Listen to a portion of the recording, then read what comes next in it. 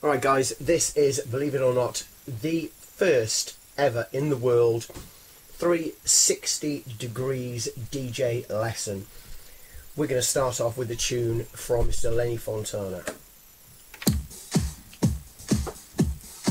Okay, if you want any info on this track, check out the link in the description. Also, at any time, you can look at me, you can look up the ceiling, you can look over to the right, to the left, in front of you. All you've got to do is pretty much move your mouse on the screen right now. Alternatively, if you have a touch sensitive screen, you can just scroll around the screen. Alternatively, if you want to, if you've got a telephone, you can move the phone around. So as you move the phone, you will be able to see what I'm looking at. Okay, so this video very simple. This one is for beginners. This is called Snap It In, Snap It Out. Demonstration, then the explanation. Two, three, four. Two, three, four. Two, three, four. Two, three, four. Two, three, four. Two, three, four. Two, three, four. Three, four. Two,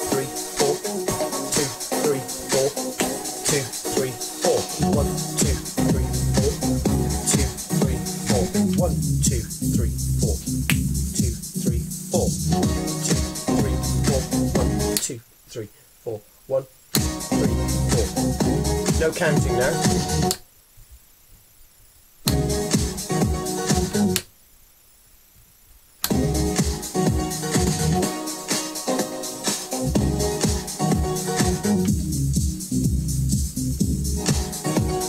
Okay, so what am I doing?